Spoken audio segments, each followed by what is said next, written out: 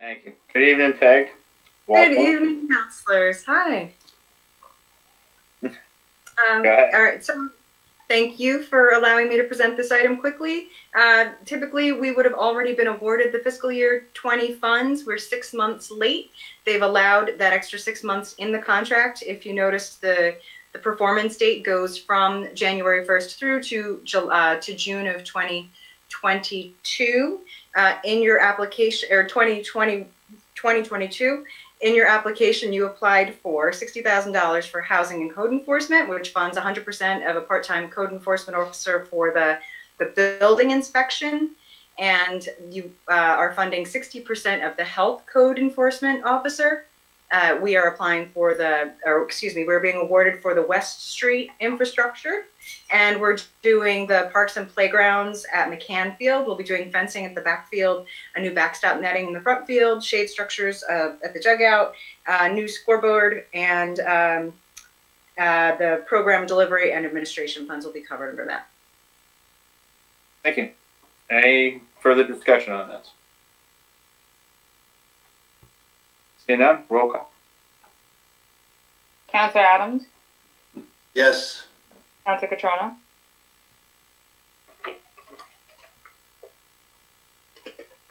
Counselor Catrona, Counselor Danny, Yes. Counselor Dow, Yes.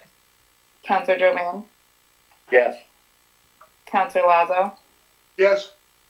Counselor Marquetti, Yes. Counselor Ryan, Yes. Counselor Steve, Yes. and Counselor Catrona. Yes. Motion carries. Well, that was quick, Peg. Thank you. Item eighteen.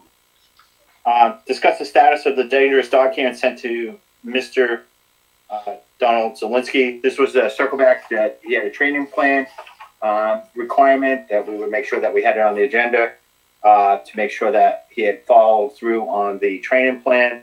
I believe everybody was forwarded that information. Uh, Chief, uh, Woodson, do you have anything to add? I know Caitlin's here as well. Anybody has any questions? Um, it was just to make sure that they had followed through. So Chief Woodson? Uh, through you, Mr. Chair, I do not have anything to add, and I, I defer, uh, to Ms. Spencer, who's here. Caitlin? Uh, good evening, everybody. Um, I reviewed over the training program. I do think it's a strong program that was presented. Um, I did have them change a couple things on the initial thing to include in-person training because the original one didn't mention um, Mr. Flora is coming to town to do the training. Um, I also made sure that they included training tools. The one thing I would have to get back to them I'm just noticing is there's no mention of a four foot um, tether that uh, Councillor Adams was requesting that to be attached to Donald. Um, but I'm pretty sure that will be something that they'll incorporate during the training. Other than that, um, I think it's something that is obtainable and hopefully that they'll be successful at. Thank you. That tether was actually part of the original order, so that was part of the requirements of the order, so it wouldn't be part of that training plan anyway. So it was a requirement of the rest of the order. This was specific to the training plan, making sure that they had submitted the training plan to you, so, which they did, correct? They did. Uh, I just noticed because they just they mentioned a three foot harness um, tether, so that's probably why I was wondering why the four foot was not mentioned. Okay, any questions? Um, I just had a correspondence from the attorney Corbo that was, uh, uh, present at that. He would just state that we should move that the council approve the training plan submitted by Mr. Zelinski and his team and approved by the animal control officer and that the plan be incorporated into and may be part of the council's January twenty-eighth, twenty twenty-one order. Can I get a motion on that? So moved. Second. I'll second it. Any discussion on that? Mary, I'll get the specific language to Councilor Steves. Yeah, one quick question on the plan. um, under se- at the very bottom, it talks about doing role play if possible with willing participants and per CDC guidelines. What are the CDC guidelines for dog training? I have no idea what those would be. I think the CDC guidelines have to do with the COVID nineteen pandemic guidelines, not specific to animal Oh, control. Okay. Would you uh, interpret it as chief? Would you interpret it that way? Is that what you mean? Correct. Okay. Okay. Just checking. Yeah. Because I figure it's a dog plant that aren't really subject to COVID nineteen. So okay.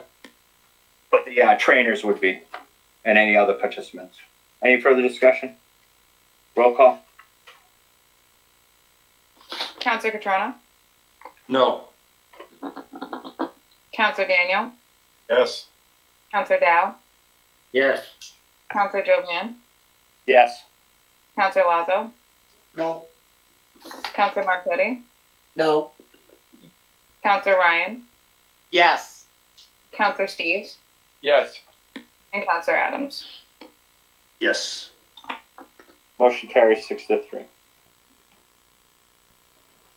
Item nineteen, the deletion of the indemnification IOD bylaw review board article XVI. This is the third and final reading. Any comments, discussion on the deletion of this bylaw? Anybody have any questions to the town managers relative to the bylaw deletion? Council Catrona? Just quickly, Mr. Chairman, this is a deletion, so there's really nothing to read, correct? Correct, but it is a change in the bylaw, so there's a reading, you have to announce that you are doing this. So there's nothing to read because it's being deleted. Okay, thank you. Council Steves? Yeah, just a quick clarification there. The text actually says it's it's, it's section or article seventeen, not sixteen. Seventeen, okay. Any further questions on that? And none, item twenty, vote to approve the deletion of the indemnification IOD bylaw review board article seventeen. Is there a motion? So moved. Is there a second? Second. Any, dis- any other discussion? Um, uh, this is town manager. Um, through you, Mr. Chairman, to the, the rest of the council, um, Councilor Marquetti, uh, asked me a question during the course of the week, which I've been trying to get an answer to him and to, to all of the council, but, um, apparently the collective bargaining agreement with the fire department does point out in article or section eight, uh, it does talk about what happens, the process, uh, when a firefighter is injured on duty and it makes uh, specific reference to the indemnification board. As I previously indicated, I did have conversations with the presidents of the respective police and fire unions, and they were able to say verbally that they did not have an issue with us going forward. I I did speak again to uh, firefighter Gary Peck, who is the president of the fire union. He said they are meeting tomorrow night, and that I asked specifically if they would look at vote voting on this particular issue, and then providing me with a letter saying that they had no issue with the wording uh, as it currently is, and we would interpret the board just to be essentially the town manager if we delete it, and that it could be addressed when we enter negotiations at the end of this current term. So I, I leave it to to the council whether or not they would like to wait one more uh, meeting to, to see that letter if that presents a, an issue. Otherwise, you could proceed this evening.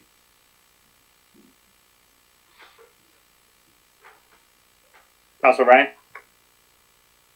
Thank you, Mr. Chair. Through you to the town manager. Um, actually, it was almost like you were reading my mind, um, uh, Manager McCall.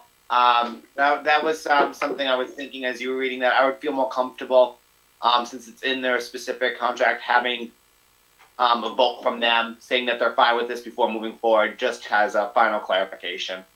Thank you. And as I said, Mr. Chairman, they're scheduled to have the meeting uh, tomorrow night, and I did trade emails with uh, the fire union president today, and he said that they would address this issue tomorrow.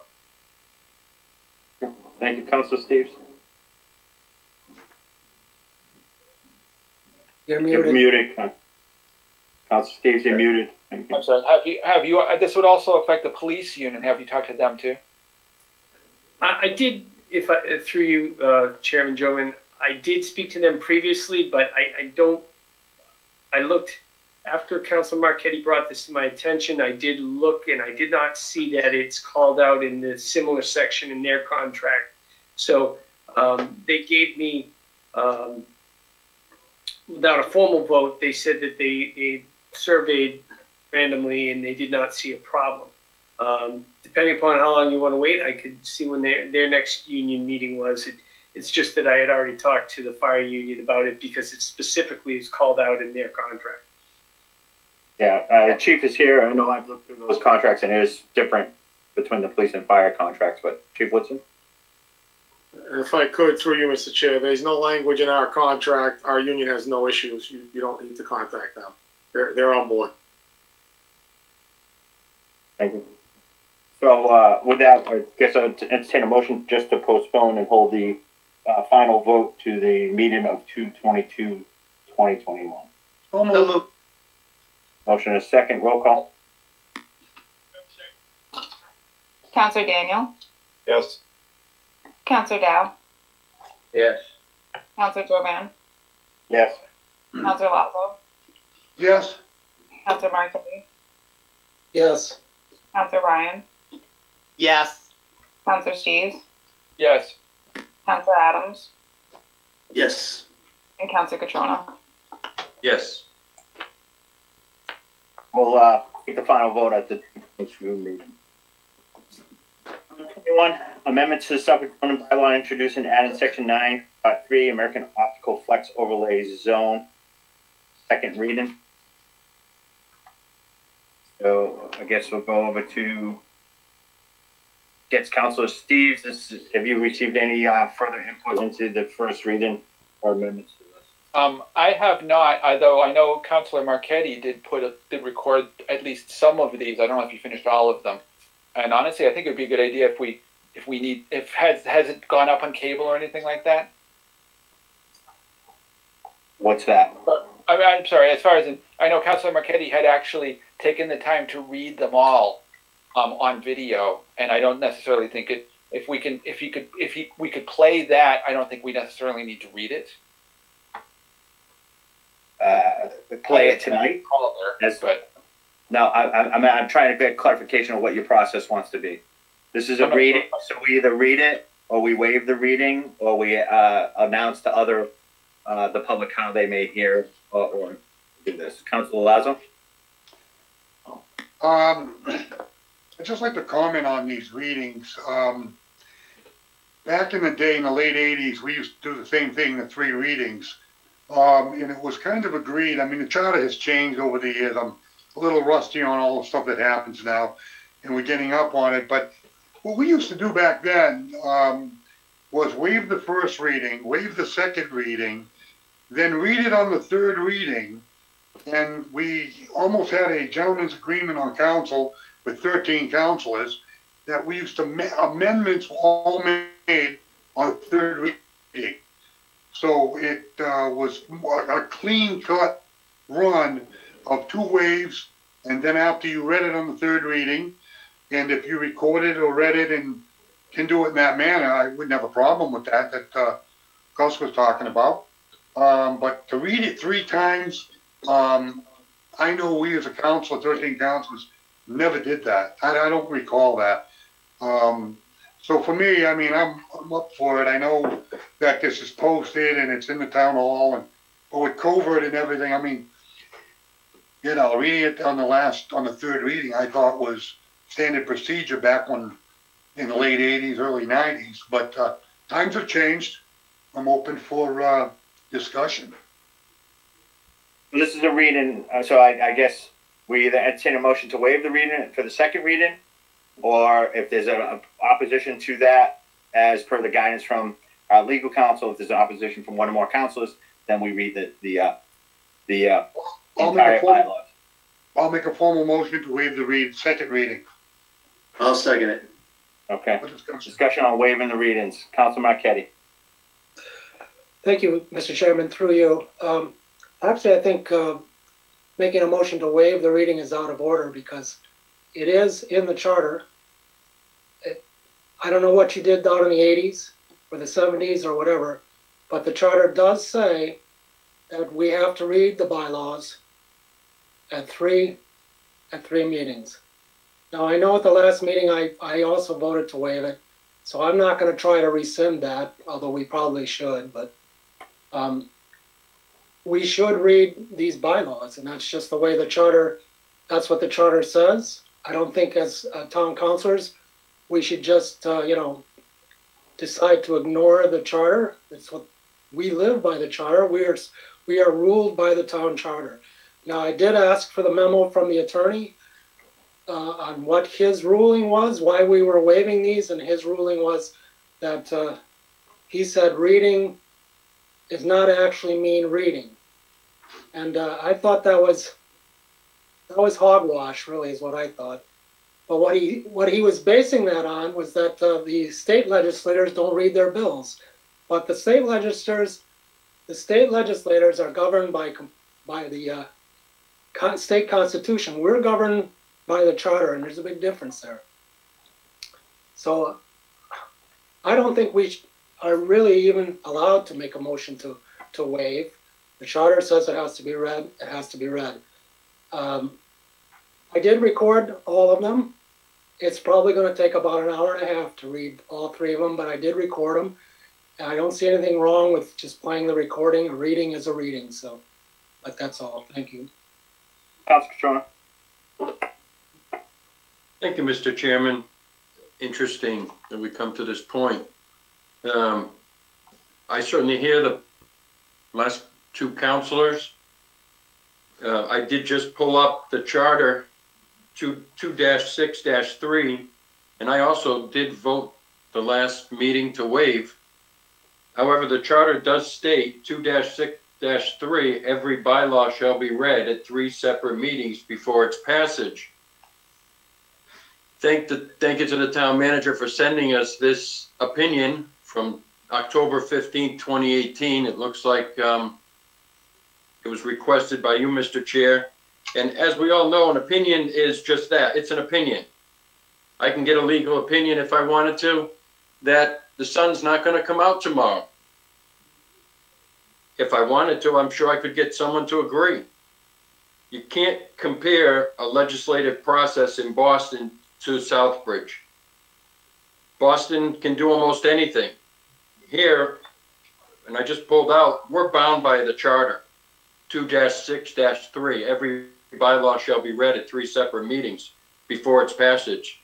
So, much like Councilor Marquetti just said, I'm not looking to rescind my prior vote, but we are bound by a charter. Thank you, Mr. Chairman.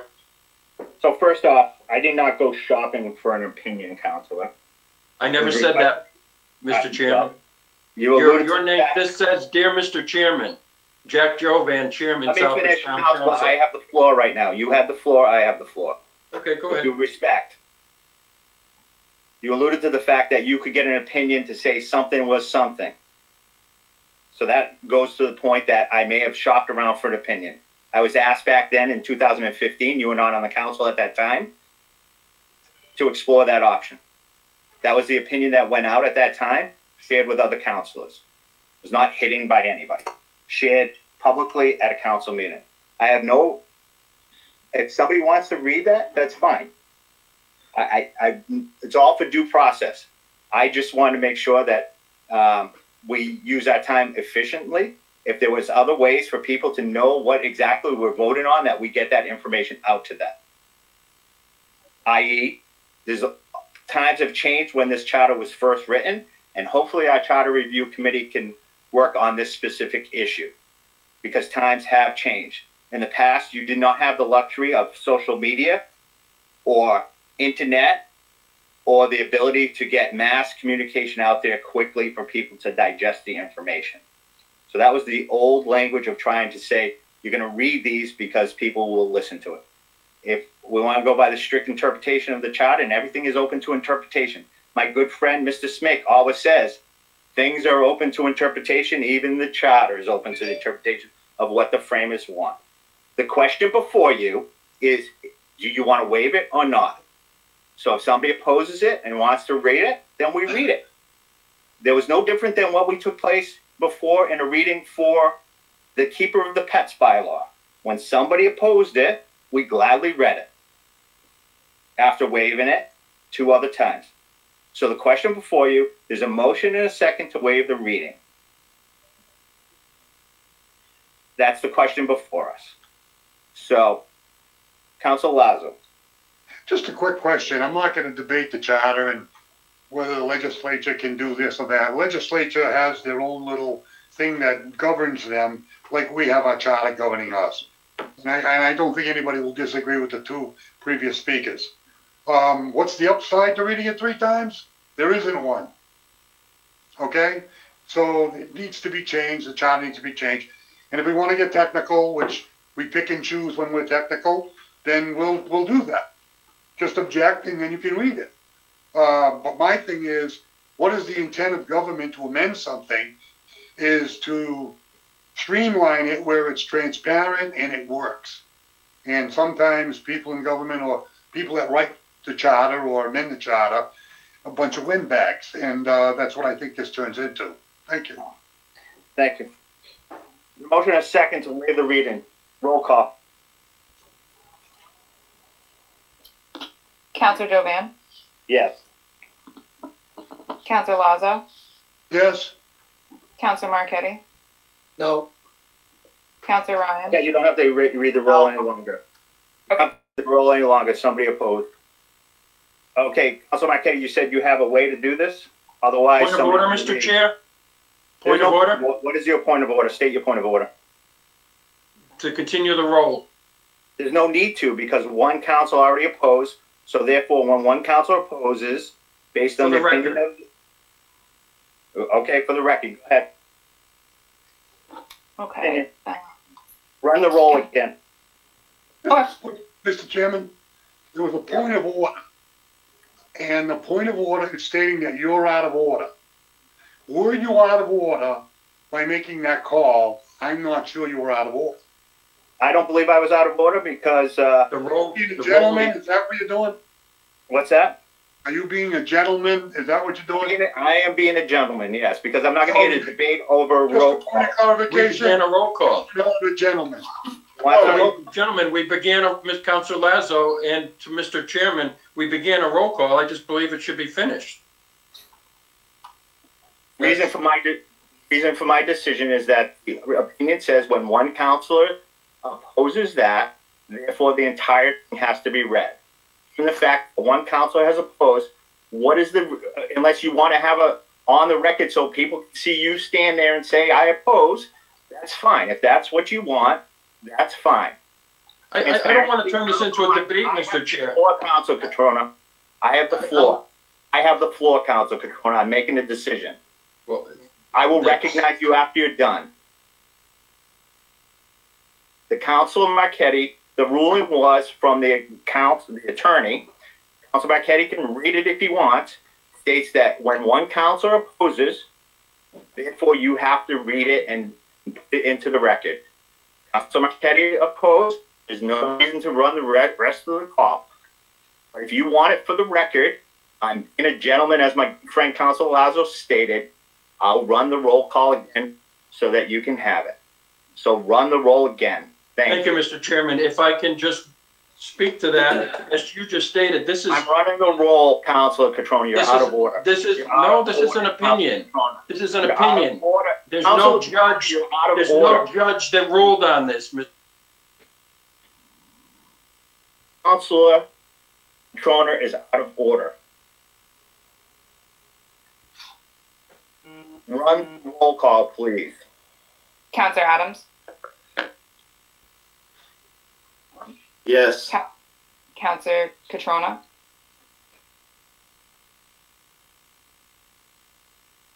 Counselor Catrona. Mm, Counselor Daniel, Mr. Chairman, Yes. did you, did you mute Mr. Catrona? He's, he's unmuted on this. He's unmuted. He's unmuted. His light is green, so I don't know what's the matter. Looks like a no, he's mouthing, so I'll put a no for now. If we can put it in the chat, that's fine. Counselor Dow, Yes. Counselor Jovan, Yes, uh, to waive the reading, yes. Counselor Lazo, Yes, Counselor Marquetti, No, Counselor Ryan, No. and Counselor Steves. No. So Marquetti, are you gonna do the reading? Is that what you're doing? if you make me a presenter, I can, I can play the, re- the reading. Hopefully it'll work. Hold on, I just got in.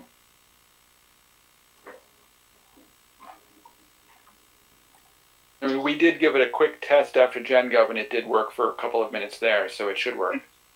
Thank you. Counselor Marquetti, you are the presenter. All right, thank you.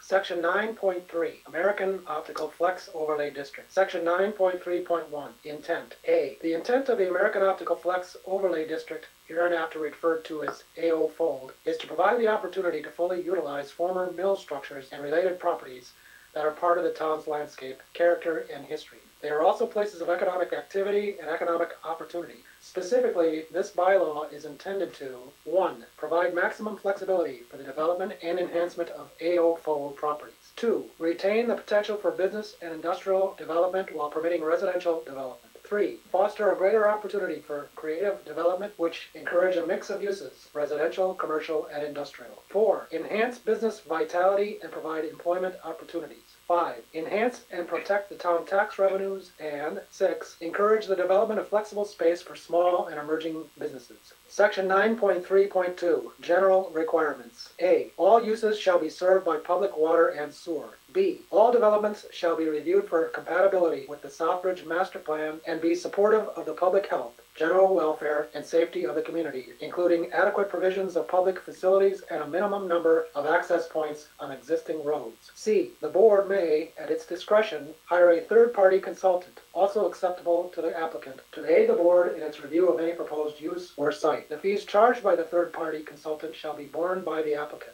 D, uses currently allowed by special permit may continue. Uses allowed by right in the underlying zone may be developed by the securing of a site plan review through the planning board. Any changes to a special permit use will require a new special permit complying with these bylaws. Section nine point three point three, allowable uses by special permit. A, all industrial, commercial, and residential uses not prohibited under section nine point three point four, subject to the performance and compatibility standards in section nine point three point five of this section, and the application and permitting requirements of subsection nine point three point six are permitted by special permit. B, within the AOFOD, there shall be no restriction on combining different categories of use, provided such uses conform with the compatibility and performance standards found in section nine point three point five within the same building except any imposed by the state building code or other federal, state, or local bylaws. C, an erosion and sedimentation control plan shall be required when the proposed development will result in a disturbed area that is cumulatively more than one half acre in size, or when the board determines that special site conditions warrant such a plan. Section nine point three point four, prohibited uses. A, adult entertainment uses. B, animal sales on properties of less than five acres. C, animal agriculture on properties of less than five acres. D, automobile or truck sales. E, bulk storage or manufacture of materials or products that could decompose by detonation. F, camps, day slash boarding. G, car wash. H, cemeteries. I, collection centers. J, dog kennels. K, drive-up services associated with any commercial use other than banks. L, golf courses. M, letting of rooms. N, a facility that contains or conducts research involving biological safety level 3 or the equivalent term, risk group 3, classification or higher. O, rendering. P, rooming and or boarding house excluding dormitories for educational uses. Q, seasonal camping slash tents. R, service stations. Section 9.3.5, Performance and Compatibility Standards. A, Compatibility. 1. All new uses shall demonstrate to the satisfaction of the board that any such new uses, in addition to meeting the requirements of this section, are compatible with all existing uses. A, any new buildings or accessory structures shall relate harmoniously to each other with adequate light, air circulation, separation between buildings, and to the extent practicable, shall be in harmony with the existing district. B, building or structures that are listed on the National Register of Historic Places shall be converted, constructed, reconstructed, restored, or altered to maintain or promote the status of a building or structure on the state or national register of historic places. B, access and traffic impacts. One, traffic and safety impacts to the existing and proposed roads shall be minimized. Two, access shall be provided to the extent feasible through an existing street or driveway. Curb cuts shall be limited. Three, pedestrian and vehicular traffic shall be separated. Four, walkways shall be provided for access to adjacent properties and between businesses. C. Nuisance avoidance. 1. Uses shall cause no inherent and recurring generated vibration perceptible without instruments at any point between two or more uses or along a property line. Temporary construction is excluded from this restriction. 2. Smoke shall not be visible beyond a shade or darker than number 1 on the Ringelmann smoke chart. 3. Heat and glare generated from within a structure or use shall not be discernible from the outside of any structure. 4. Odor, dust, and fumes shall be effectively confined to the premises or so disposed as to avoid air pollution. Five, no activities involving bulk storage or manufacture of materials or products that could decompose by detonation shall be permitted. These materials include primary explosives such as lead, azide, fulminates, lead, styphnate, and tetrazine. High explosives such as TNT, RDX, HMX, PETN, and picric acid, propellants and their components such as dry nitrocellulose, black powder, boron hydrides, and hydrazine and its derivatives, pyrotechnics and fireworks such as magnesium powder, potassium chlorate, potassium nitrate, blasting explosives such as dynamites and nitroglycerin, unstable organic compounds such as acetylides, tetrazoles, and ozonides, strong oxidizing agents such as liquid oxygen, perchloric acid, perchlorates, chlorates, and hydrogen peroxide in concentrations greater than 35%, and nuclear fuels, fissionable materials and products, and reactor elements such as uranium-235 and plutonium-239. Utilization of the materials included in this, in this section shall be limited to the minimum quantities necessary for specific research and only after the procurement of all required local, state, and federal permits, material type, quantity, storage, handling procedures, and location in the facility shall also be registered with the fire department, police department, and the Southbridge Planning Board. All local, state, and federal disposal procedures must be followed. Six, any electrical radiation shall not adversely affect at any point any operations or any equipment, including not only professional research equipment, but also equipment reserved for personal uses, such as reception of public radio transmissions, use of cellular phones, etc., except equipment belonging to the creator of the electrical radiation. All FCC rules and regulations must be followed. Seven, no use abutting residential use shall engage in or cause very loud activities as defined in the Town of Southbridge Code of Ordinances, Section 7-503, between the hours of 9 p.m. of one day and 7 a.m. of the following day. 8. Non-residential uses shall be designed, constructed, and operated, and hours of operation limited where appropriate, so that neighboring residents are not exposed to offensive noise, especially from traffic or late-night activity. No amplified music shall be audible to neighboring residents. 9. Common walls between residential and non-residential uses shall be constructed to minimize the transmission of noise and vibration. D. Lighting. A lighting plan allowing existing and proposed exterior lighting, including building and ground lighting, locations, supports, mounting heights, and orientation of all luminaires and light distribution pattern is required.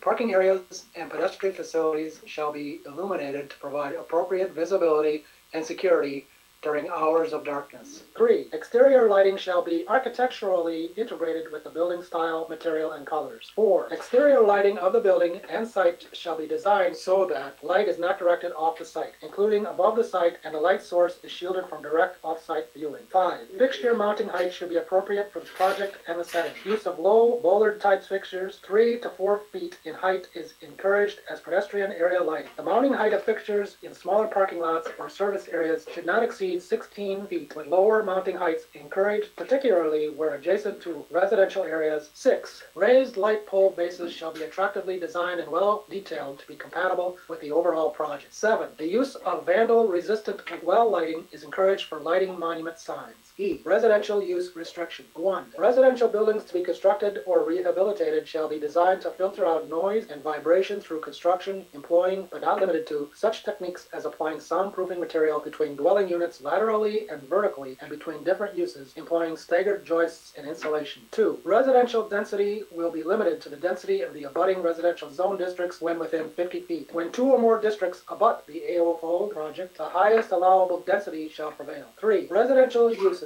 apartment and condominium units shall be permitted in existing structures and shall consist of not less than 500 square feet of livable space. F, buffers, density, and height. One, where an AO property abuts a residential zone property, a buffer strip of 75 feet shall be required for any new non-residential development. Such buffers shall be planted with year-round screening vegetation adequate to buffer the view from the residential zone. Preservation of existing trees and vegetation is preferred where they provide desired screening. Two, where the AOFOD abuts a residentially zoned property, a buffer strip of 25 feet shall be required for any new residential development. Three, to reduce the bulk and area of buildings and pavement relative to the overall size of the development and to provide landscaped areas for visual and sound buffers, increased groundwater recharge, and reduced stormwater runoff. The total area of any AOFOD that may be covered by buildings and paved surfaces shall not exceed 50%. The board may allow by special permit an increase to a maximum of 60% impervious coverage when the board finds that one or more of the following benefits of the development outweigh the impacts of the increased impervious coverage. A, the use of grass slash pavement block systems or similar treatment reduces stormwater runoff, and or B, the development achieves an overall benefit to the community such as elimination of blight conditions, preservation of historic structures, closure of excessive curb cuts, provisions of inter-parcel access or service roads or similar benefit. Four, maximum building heights for new construction shall be as follows. A, residential, 35 feet may be higher upon approval by the fire chief and the planning board. B, commercial, 60 feet. C, industrial, 60 feet. D, mixed use, 60 feet. 5. For existing structures, A. Telecommunication facilities, water tanks, solar collection systems, similar structures, and necessary mechanical appurtenances may be erected on an existing structure to a higher greater than the limit established for the AOFOD, provided that no such exception shall cover at any level more than 25% of the area of the roof on which it is located, except for a solar collection system which may cover more than 25% of the area of the roof on which it is located if the architectural design and layout is compatible with that of the structure to which it is affixed and generally in keeping with the character of the neighborhood in which it is to be situated, and provided further that no such exception shall be used for residential, commercial, or industrial purposes other than such as may be incidental to the permitted use of the main structure. B. Roof structures and or roof lines may be integrated together where more than one roof line or roof style is present. Six. The height limitations of these bylaws for new construction shall not apply to chimneys, cables, cupolas, spires, water towers, flagpole, transmission towers and cables, radio or television antennae, or towers or telecommunication service facilities, provided that the telecommunication facility and its antennas or associated equipment does not extend more than five feet above the highest point of the building or structure to which it is attached. G. Outdoor storage and sales display. 1. Except as specified below, outdoor storage or display of goods shall be enclosed within permanent walls or fences integrated into the design of the building. A. Storage or display racks and goods thereon shall not exceed the height of screening walls or fences. B. Goods shall not be displayed in landscaped areas, on external walls, or in parking lots. C. The board, at its sole discretion, may permit the outdoor display and sale of merchandise on sidewalks if a written request accompanies the application stating the nature of the outdoor sales, including the location, duration, and types of merchandise to be sold. D. Outdoor display areas shall be delineated on the site plan and or concept plan and shall not impede the normal use of sidewalks or other pedestrian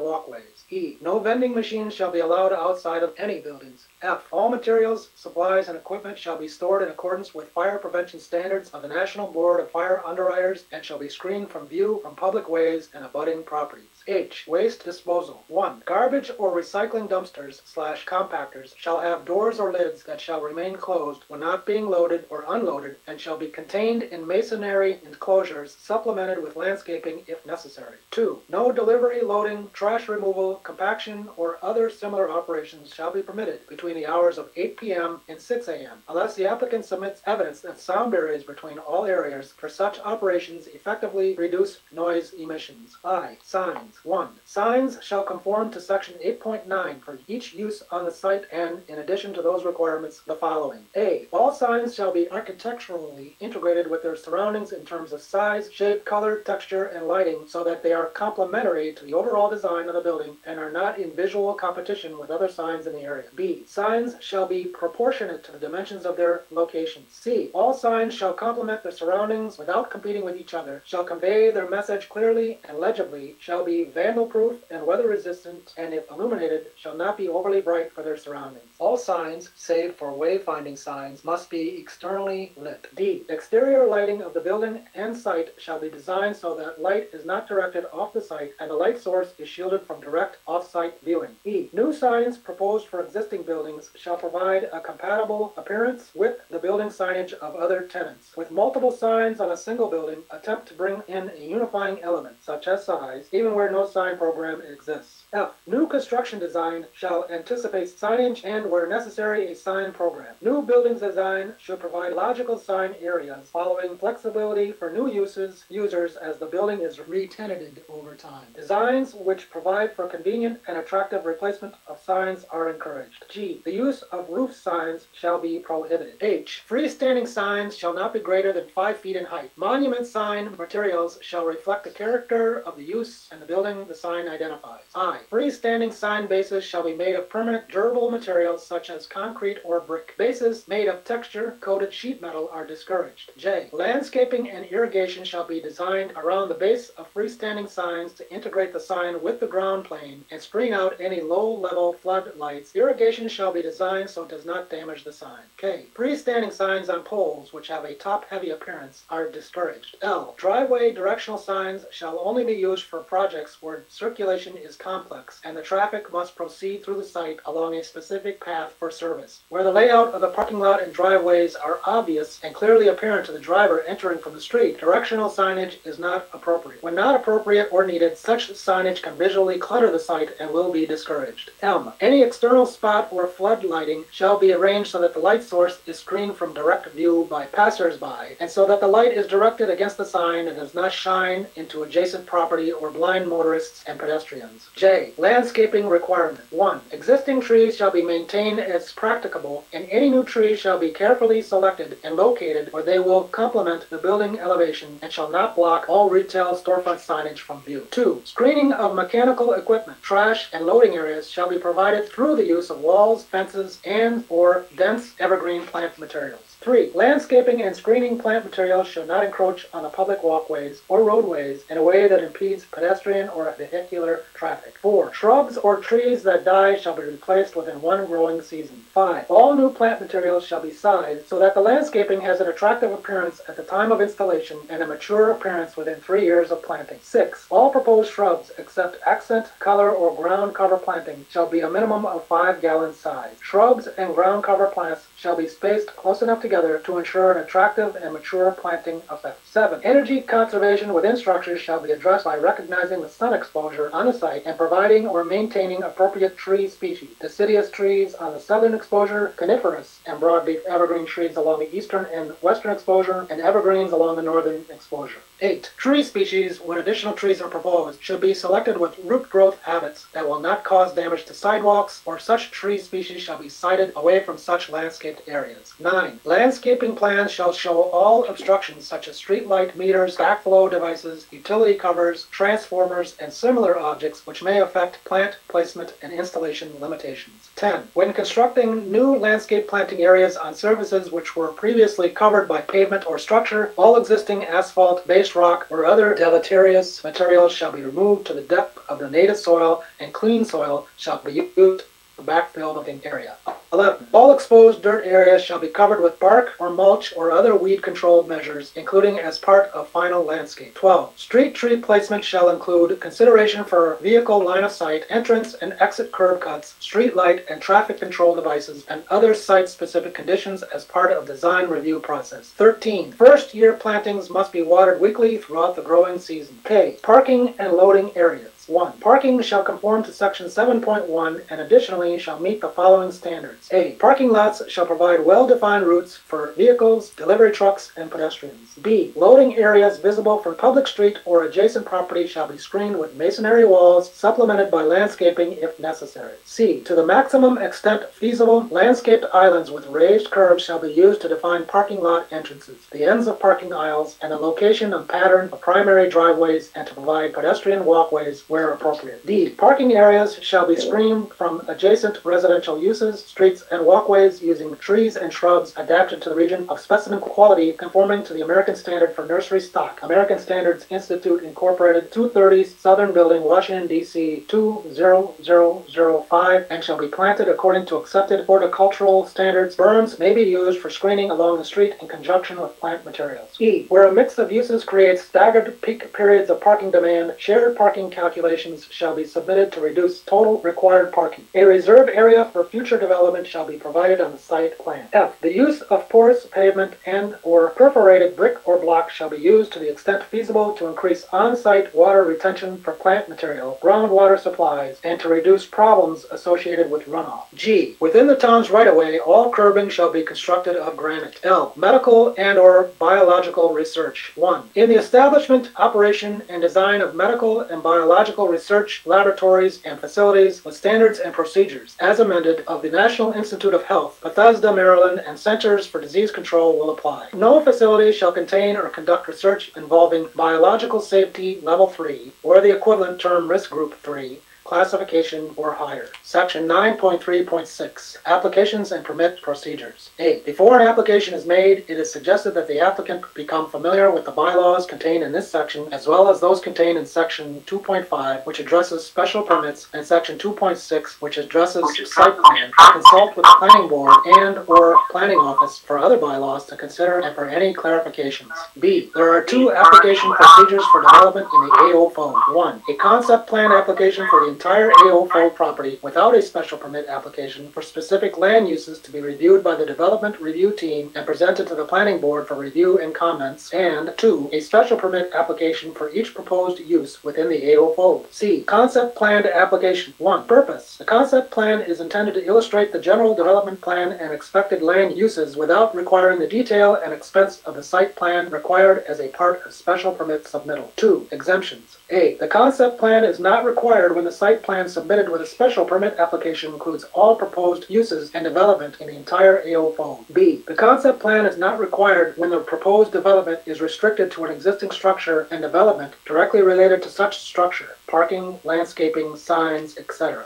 Three, procedure. The following procedure shall apply when an applicant seeks approval only of a concept plan. A, application. The applicant shall file with the board an application for concept plan approval on such form as provided by the board, and such application shall be governed by the requirement section 7.2. B, elements of concept plan. The concept plan shall be prepared by an engineer, architect, or landscape architect, and shall include 1. Drawings at a scale of 1 inch equals 100 feet. 2. Existing topography with two-foot contours to show the general gradient of the site, existing structures, existing roads, and rights-of-way, major topographic features including wooded and open areas, ledge or outcroppings, inland wetlands, watercourses, and floodplain. 3. The land uses and zoning within 300 feet of the site. 4. Boundary description of the district within it. 5. Names of all abutting property owners. Six, the location of all proposed roadways, parking areas, setbacks, easements, land use areas, open space areas, and access locations from connecting roads and driveways within the site to the existing public road system. Seven, the site shall be divided into general land use areas identified as one or more of the specially permitted uses e.g., retail, restaurant, office, research lab, etc. 8. Proposed building footprints and location of parking areas. 9. Letters from the Water Department and the Water Pollution Control Authority stating how service is to be provided to the proposed land uses. 10. A preliminary traffic analysis prepared by a professional engineer which shall include, but not be limited to the following. A. Land use site and study area boundaries. B. Existing and proposed site use. C. Existing and proposed roadways and intersections. D. Existing and proposed roadways and intersection capacities and volumes. E. Trip generation and design hour volumes.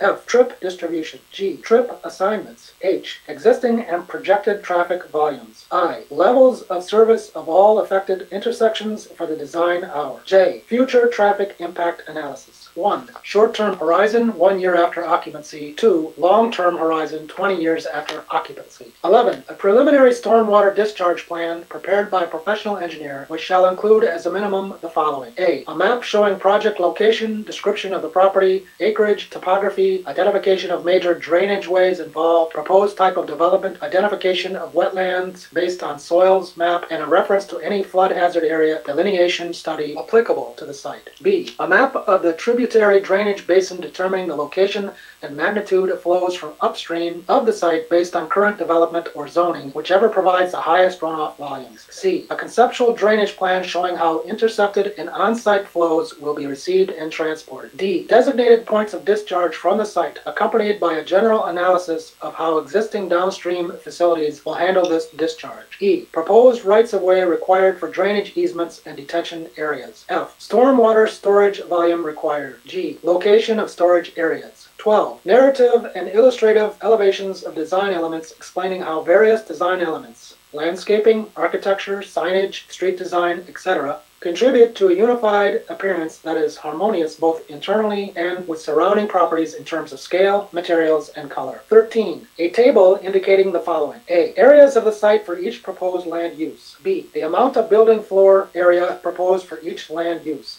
C. Number of parking and loading spaces for each land use. D. Wetland areas, floodplains areas, area of ledge or outcroppings. E. Overall lot coverage. F. And building heights. 14. Limits of phases where development is proposed in phase 15. Such other relevant information as the applicant may wish to submit or the board may request. 4. Required findings. In approving a concept plan, the board shall find A. The application and concept plan are complete. B. That the proposed location of the land use areas on the site avoids placement of incompatible uses adjacent to one another. C. That the transition between the different proposed uses is suitable and that adequate buffering is provided. D. That the proposed land uses and development patterns satisfy the purpose and intent of the regulation as set forth in section 1 and the standards and requirements of sections 5 through 6. 5. Changes to concept plan. Changes to an approved concept plan are required to be approved by the planning board. D. AOFOD Special Permit Application. 1. A special permit application in conformance with section 2.5, which includes submission of a site plan as outlined in section 2.6, is required for each proposed use. A special permit application is also subject to the following requirement. A. Concept plan. A concept plan must be submitted with the special permit applications for proposed use or uses if not previously submitted. The board shall act on the concept plan prior to acting on the special permit application. B. Traffic report. Report prepared by professional traffic engineer stating that traffic conditions as described in the approved concept plan traffic report have not changed or if they have, in what way. C. A tabular statement of zoning conformance with respect to each land use type contained on the concept plan. D. In addition to the criteria for special permit approval, the requirements and findings of this section must be met. 2. Changes to special permit site plan. Changes to an approved special permit site plan are to be approved by the board. 3. Change in uses within existing structures is also permitted for situations where a use has already been approved in accordance with these bylaws upon review and approval by the planning board. When such use does not change the compatibility of such new use with those existing within the structure and the change in use does not result in expansion of space greater than 25% or 5,000 square feet, whichever is greater. A. The development review team will review and will forward any such request to the board for approval. B. The development review team may require such information as it deems appropriate to evaluate any such application, including those listed in subsection C of this section. C. The town planner shall make a report of any decisions made under this section to the board at the next regular meeting of the board following such decision.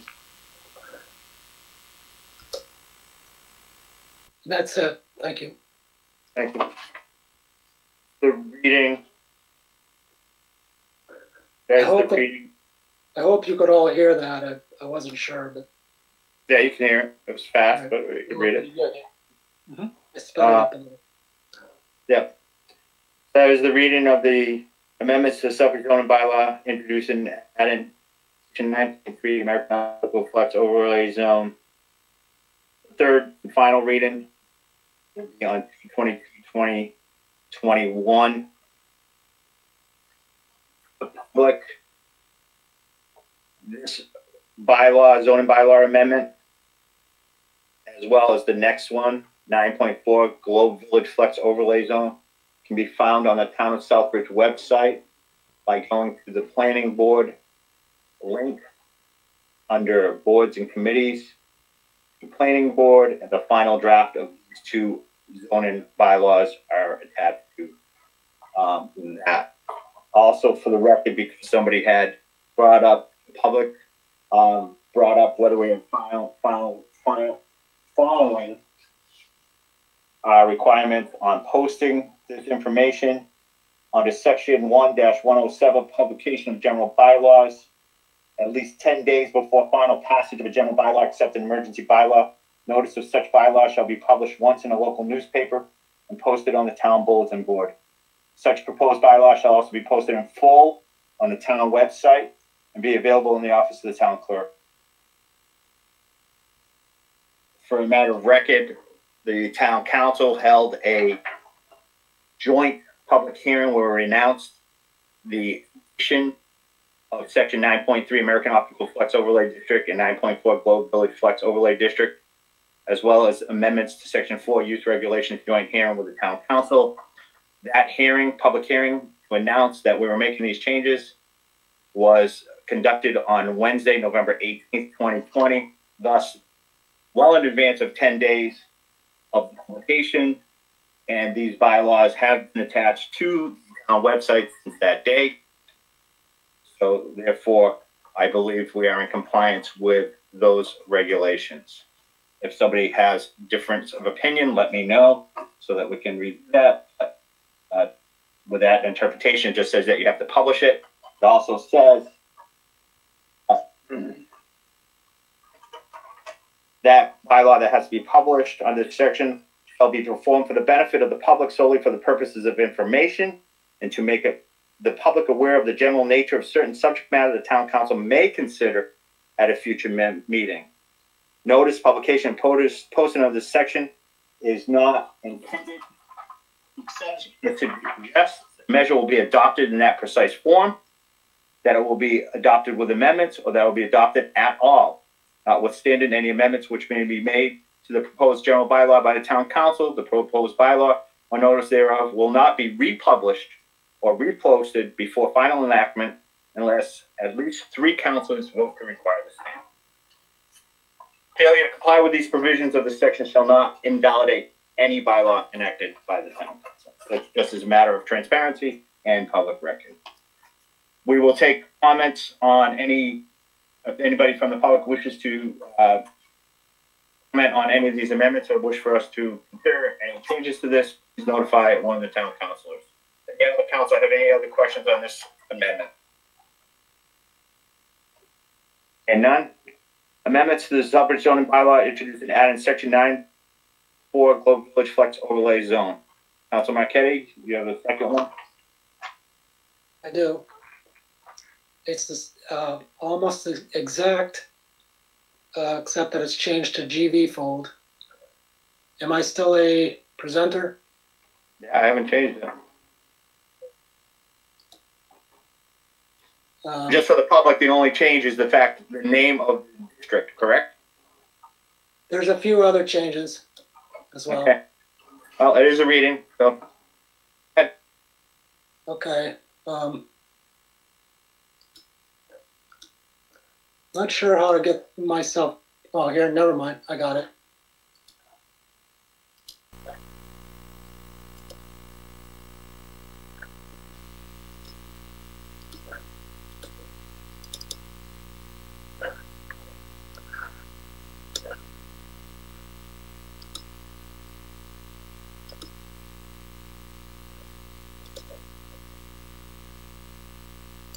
Section nine point four, Globe Village, Flex Overlay District. Section 9.4.1, intent. A, the intent of the Globe Village Flex Overlay District, hereinafter referred to as GVFOD, is to provide the opportunity to fully utilize former mill structures and related properties that are part of the town's landscape, character, and history. They are also places of economic activity and economic opportunity. Specifically, this bylaw is intended to 1. Provide maximum flexibility for the development and enhancement of GVFOD properties. 2. Retain the potential for business and industrial development while permitting residential development. 3. Foster a greater opportunity for creative development which encourage a mix of uses, residential, commercial, and industrial. 4. Enhance business vitality and provide employment opportunities. 5. Enhance and protect the town tax revenues. And 6. Encourage the development of flexible space for small and emerging businesses. Section 9.4.2 General Requirements. A. All uses shall be served by public water and sewer. The requirement for public water may be waived in whole or in part by the board if the applicant can establish to the satisfaction of the planning board that potable water requirements can be realized through on-site systems. A request for a waiver shall be submitted in writing by the applicant at the time application is made. The request shall detail the extent of the waiver requested and contain sufficient data for the board to make the findings required above. The applicant shall submit a written report on the adequacy of the proposed alternative water supply system of each proposed building lot and/or use prepared by a professional engineer licensed to practice in the state of Massachusetts, certifying either that each lot and/or use is satisfactory for private water supply systems constructed in accordance with the standards of the state of Massachusetts, or specifying the location or conditions under which such systems would meet such standards. Approval by the Board of Health is necessary prior to approval of any waiver. B. All developments shall be reviewed for compatibility with the Southbridge Master Plan and be supportive of the public health, general welfare, and safety of the community, including adequate provisions of public facilities and a minimum number of access points on existing roads. C. The board may, at its discretion, hire a third-party consultant, also acceptable to the applicant, to aid the board in its review of any proposed use or site. The fees charged by the third-party consultant shall be borne by the applicant. D. Uses currently allowed by special permit may continue. Uses allowed by right in the underlying zone may be developed by the securing of a site plan review through the planning board. Any changes to a special permit use will require a new special permit complying with these bylaws. Section 9.4.3 Allowable uses by special permit. A. All commercial and residential uses not prohibited under section 9.4.4 subject to the performance and compatibility standards in section 9.4.5 of this section and the application and permitting requirements of subsection 9.4.6 are permitted by special permit. B. Within the GVFOD, there should be no restriction on combining different categories of use, provided such uses conform with the compatibility and performance standards found in section 9.4.5 within the same building, except any imposed by the state building code or other federal, state, or local bylaws. C. An erosion and sedimentation control plan shall be required when the proposed development will result in a disturbed area that is cumulatively more than one half acre in size, or when the board determines that special site conditions warrant such a plan. Section 9.4.4 Prohibited uses. A. Adult entertainment uses. B. Animal sales on properties of less than 5 acres. C. Animal agriculture on properties of less than 5 acres. D. Automobile or truck sales. E. Camps, day slash boarding. F. Cemeteries. G. Collection centers. H. Dog kennels. I. Drive-up services associated with any commercial use other than bank. J. Golf course. K. Letting of room. L. Rooming and or boarding house excluding dormitories for educational use. M. Seasonal camping slash tents. Section 9.4.5 Performance and Compatibility Standards. A. Compatibility. 1. All new uses shall demonstrate to the satisfaction of the board that any such new uses, in addition to meeting the requirements of this section, are compatible with all existing uses. A. Any new buildings or accessory structures shall relate harmoniously to each other with adequate light, air circulation, separation between buildings, and to the extent practicable, shall be in harmony with the existing district. B. Building or structures that are listed on the National Register of Historic Places shall be converted, constructed, reconstructed, restored, or altered to maintain or promote the status of the building or structure on the state or National Register of Historic Places. B. Access and traffic impacts. 1. Traffic and safety impacts to the existing and proposed roads shall be minimized. 2. Access shall be provided to the extent feasible through an existing street or driveway. Curb cuts shall be limited. 3. Pedestrian and vehicular traffic shall be separated. 4. Walkways shall be provided for access to adjacent properties and between businesses. C. Nuisance avoidance. 1. Uses shall cause no inherent and recurring generated vibration perceptible without instruments at any point between two or more uses or along a property line. Temporary construction is excluded from this restriction. 2. Smoke shall not be visible beyond a shade or darker than number 1 on the Ringelmann smoke chart. 3. Heat and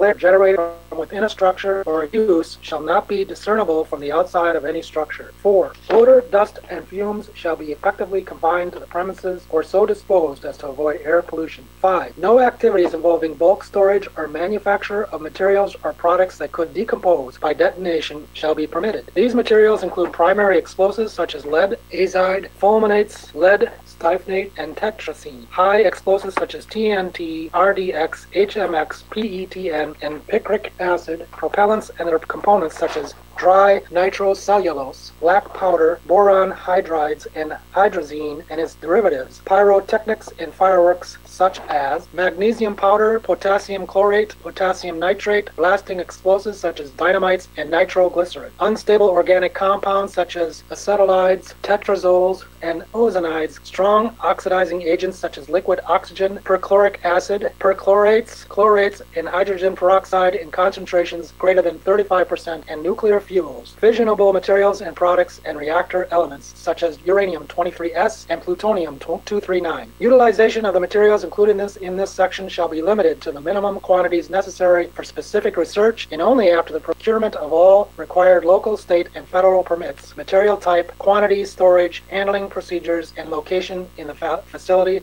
shall also be registered with the fire department, police department, and the Southbridge Planning Board. All local, state, and federal disposal procedures must be followed. Six, any electrical radiation shall not adversely affect at any point any operations or any equipment, including not only professional research equipment, but also equipment reserved for personal uses, such as reception of public radio transmissions, use of cellular phones, etc., except equipment belonging to the creator of the electrical radiation. All FCC rules and regulations must be followed. Seven, no use abutting residential use shall engage in or cause very loud activities as defined in the Town of Southbridge Code of Ordinances, Section 7-503, between the hours of 9 p.m. of one day and 7 a.m. on the following day. 8. Non-residential uses shall be designed, constructed, and operated, and hours of operation limited where appropriate, so that neighboring residents are not exposed to offensive noise, especially from traffic or late-night activity. No amplified music shall be audible to neighboring residents. 9. Common walls between residential and non-residential uses shall be constructed to minimize the transmission of noise and vibration. D. Lighting. A lighting plan allowing existing and proposed exterior lighting, including building and ground lighting, locations, supports, mounting heights, and orientation of all luminaires and light distribution pattern is required. 2. Parking areas and pedestrian facilities shall be illuminated to provide appropriate visibility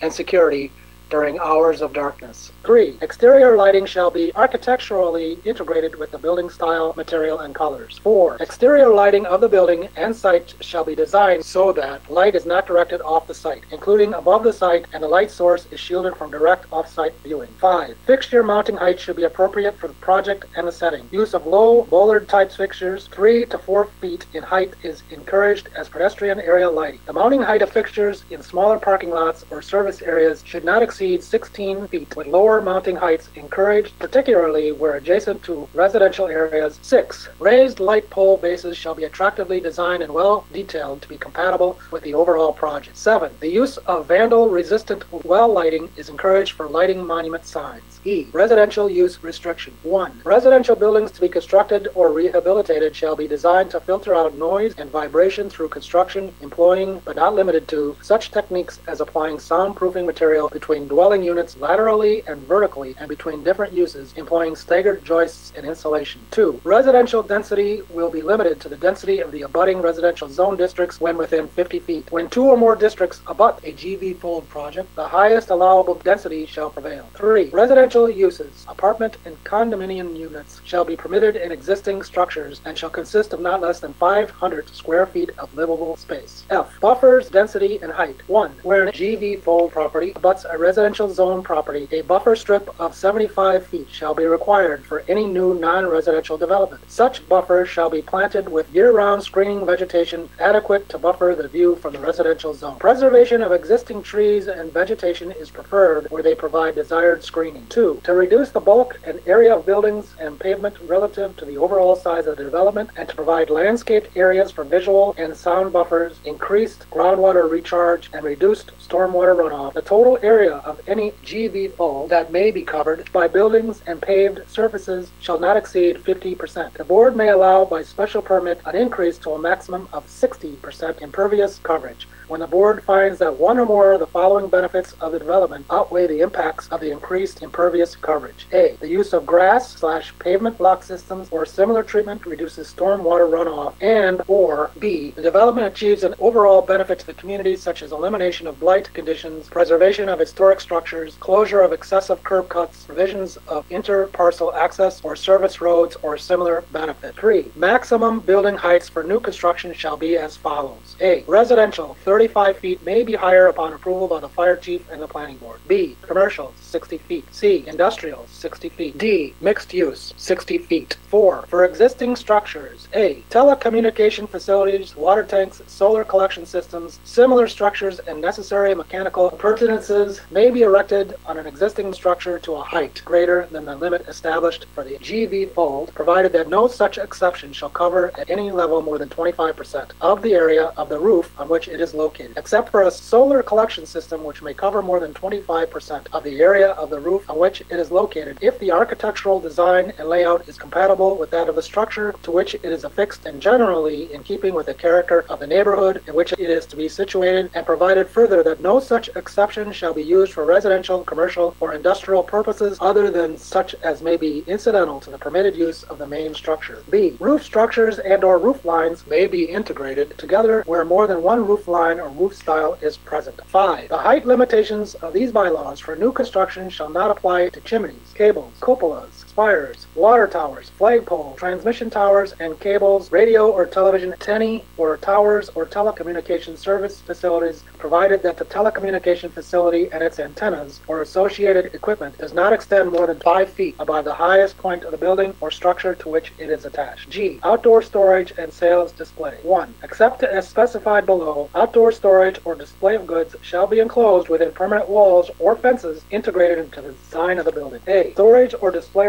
and goods thereon shall not exceed the height of screening walls or fences. B. Goods shall not be displayed in landscaped areas, on external walls, or in parking lots. C. The board, at its sole discretion, may permit the outdoor display and sale of merchandise on sidewalks if a written request accompanies the application stating the nature of the outdoor sales, including the location, duration, and types of merchandise to be sold. D. Outdoor display areas shall be delineated on the site plan and or concept plan and shall not impede the normal use of sidewalks or other pedestrian walkways. E. No vending machines shall be allowed outside of any buildings. F. All materials, supplies, and equipment shall be stored in accordance with fire prevention standards of the National Board of Fire Underwriters and shall be screened from view from public ways and abutting properties. H. Waste disposal. 1. Garbage or recycling dumpsters slash compactors shall have doors or lids that shall remain closed when not being loaded or unloaded and shall be contained in masonry enclosures supplemented with landscaping if necessary. 2. No delivery, loading, trash removal, compaction, or other similar operations shall be permitted between the hours of 8 p.m. and 6 a.m. unless the applicant submits evidence that sound barriers between all areas for such operations effectively reduce noise emissions. I. Signs. 1. Signs shall conform to section 8.9 for each use on the site and, in addition to those requirements, the following. A. All signs shall be architecturally integrated with their surroundings in terms of size, shape, color, texture, and lighting so that they are complementary to the overall design of the building and are not in visual competition with other signs in the area. B. Signs shall be proportionate to the dimensions of their location. C. All signs shall complement their surroundings without competing with each other, shall convey their message clearly and legibly, shall be vandal-proof and weather-resistant, and if illuminated, shall not be overly bright for their surroundings. All signs, save for wayfinding signs, must be externally lit. D. Exterior lighting of the building and site shall be designed so that light is not directed off the site and the light source is shielded from direct off-site viewing. E. New signs proposed for existing buildings shall provide a compatible appearance with the building signage of other tenants. With multiple signs on a single building, attempt to bring in a unifying element, such as size, even where no sign program exists. F. New construction design shall anticipate signage and, where necessary, a sign program. New buildings design should provide logical sign areas, allowing flexibility for new users as the building is re-tenanted over time. Designs which provide for convenient and attractive replacement of signs are encouraged. G. The use of roof signs shall be prohibited. H. Freestanding signs shall not be greater than five feet in height. Monument sign materials shall reflect the character of the use and the building the sign identifies. I. Freestanding sign bases shall be made of permanent durable materials such as concrete or brick. Bases made of texture coated sheet metal are discouraged. J. Landscaping and irrigation shall be designed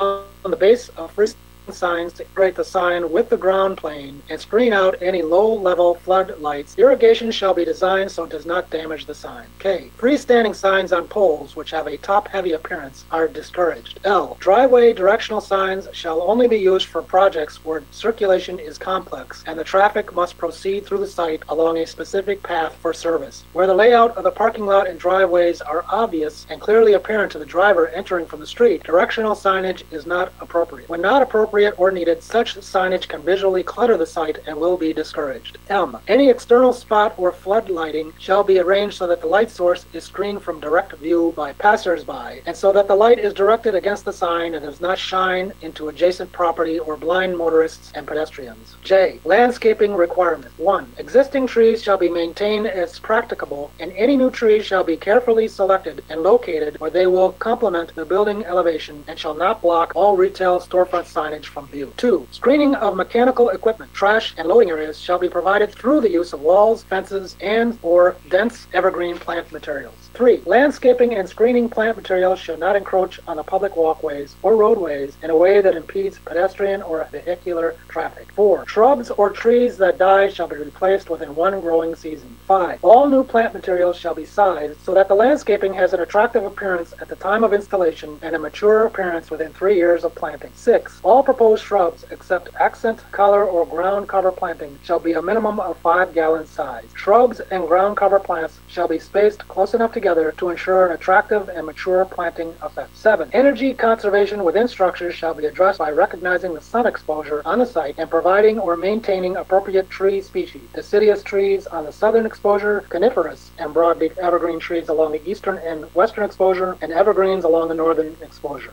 8. Tree species, when additional trees are proposed, should be selected with root growth habits that will not cause damage to sidewalks, or such tree species shall be sited away from such landscaped areas. 9. Landscaping plans shall show all obstructions such as streetlight, meters, backflow devices, utility covers, transformers, and similar objects which may affect plant placement and installation limitations. 10. When constructing new landscape planting areas on surfaces which were previously covered by pavement or structure, all existing asphalt, base rock, or other deleterious materials shall be removed to the depth of the native soil, and clean soil shall be used to backfill the planting area. 11. All exposed dirt areas shall be covered with bark or mulch or other weed control measures, including as part of final landscape. 12. Street tree placement shall include consideration for vehicle line of sight, entrance and exit curb cuts, street light and traffic control devices, and other site-specific conditions as part of design review process. 13. First year plantings must be watered weekly throughout the growing season. K. Parking and loading areas. 1. Parking shall conform to section 7.1 and additionally shall meet the following standards. A. Parking lots shall provide well-defined routes for vehicles, delivery trucks, and pedestrians. B. Loading areas visible from public street or adjacent property shall be screened with masonry walls supplemented by landscaping if necessary. C. To the maximum extent feasible, landscaped islands with raised curves shall be used to define parking lot entrances, the ends of parking aisles, and the location and pattern of primary driveways and to provide pedestrian walkways where appropriate. D. Parking areas shall be screened from adjacent residential uses, streets, and walkways using trees and shrubs adapted to the region of specimen quality conforming to the American Standard for Nursery Stock, American Standards Institute Incorporated, 230 Southern Building, Washington, D.C. 20005, and shall be planted according to accepted horticultural standards. Berms may be used for screening along the street in conjunction with plant materials. E. Where a mix of uses creates staggered peak periods of parking demand, shared parking parking calculations shall be submitted to reduce total required parking. A reserve area for future development shall be provided on the site plan. F, the use of porous pavement and/or perforated brick or block shall be used to the extent feasible to increase on-site water retention for plant material, groundwater supplies, and to reduce problems associated with runoff. G, within the town's right-of-way, all curbing shall be constructed of granite. L, medical and/or biological research. 1. In the establishment, operation, and design of medical and biological research laboratories and facilities with standards and procedures, as amended, of the National Institute of Health, Bethesda, Maryland, and Centers for Disease Control will apply. No facility shall contain or conduct research involving biological safety level 3 or the equivalent term risk group 3